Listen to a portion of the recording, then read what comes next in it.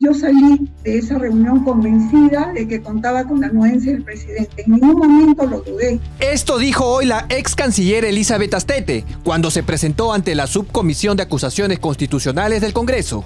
La ex ministra ratificó que el presidente Francisco Sagasti estaba enterado de su vacunación. En el momento que le hablé al presidente y le expliqué las razones por las cuales estaba considerando vacunarme, él me miró fijamente y asintió.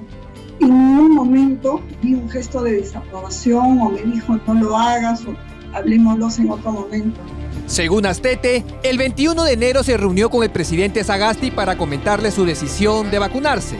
La ex canciller asegura que el mandatario nunca se mostró en contra de su iniciativa. En ningún momento vi un gesto de desaprobación o me dijo no lo hagas o hablemoslos en otro momento. Al día siguiente, el 22 de enero, la ex canciller se vacunó en el hospital Cayetano Heredia. Según ella, pensaba que se trataba de un procedimiento regular. Sin embargo, reconozco mi error, reconozco que no debía hacerlo, por eso he pedido disculpas al país. Luego de 20 días, el 11 de febrero se reunió en Palacio con la premier Violeta Bermúdez. Ahí, según Astete, la primera ministra le preguntó si el presidente sabía de su vacunación, a lo que ella respondió que sí. Ante esa afirmación, Bermúdez le dijo que era mejor no involucrar al mandatario. Le dije de manera enfática que yo le había avisado al presidente antes de mi vacunación. Luego de escucharme, la primera ministra me sugirió no involucrar al presidente. Un día antes de aquella reunión, se daba a conocer el caso Vacunagate, que involucraba a más de 470 funcionarios del Estado. Por ello, según Astete, decidió presentar su carta de renuncia por todas estas irregularidades. La opinión pública fue decisión mía confesar tan pronto me di cuenta que había irregularidades en el proceso que yo había creído que era regular. Yo había ido como señalé en mi intervención inicial, a la Universidad Cayetano Heredia a un acto público y transparente, convencida de que no había ningún problema. El 14 de febrero se reunió en la casa del presidente Sagasti, donde también estuvo presente la premier Violeta Bermúdez.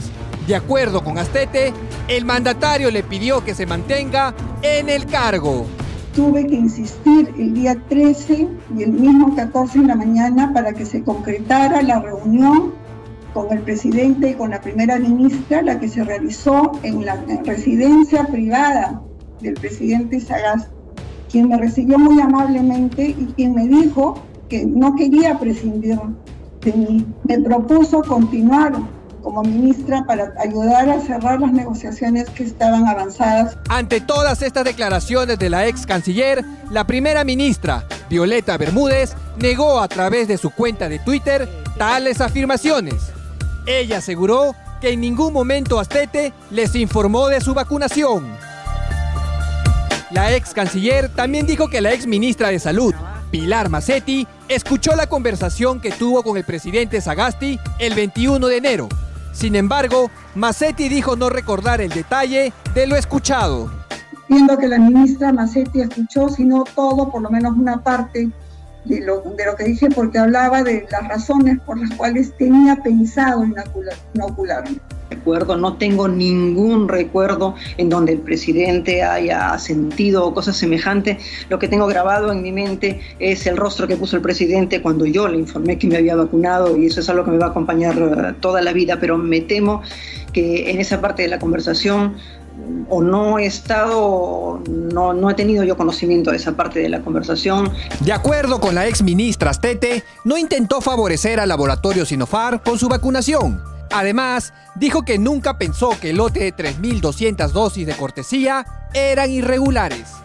Así es que yo caí en el error de creer, todos creían, los que me hablaban de esta posibilidad, de que había una posibilidad regular de hacerlo, de un remanente de los ensayos clínicos que administraba una universidad tan prestigiosa como la Universidad Cayetano Heredia.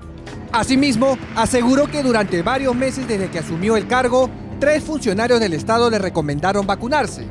Finalmente, ella aceptó la invitación por un viaje que haría a Tumbes, región donde había un alto índice de contagios por la segunda ola de la COVID-19.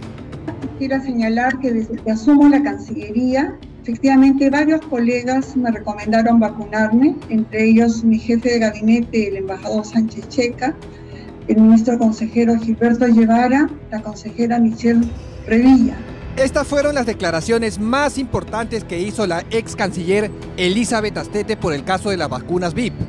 Mientras tanto, el presidente Francisco Sagasti decidió no asistir hoy a la comisión del Congreso porque, según él, no tiene nada más que decir sobre este caso.